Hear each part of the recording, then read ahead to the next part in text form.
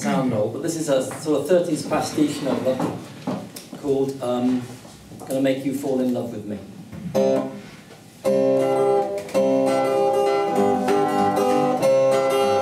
Okay, you say I'm not your special one,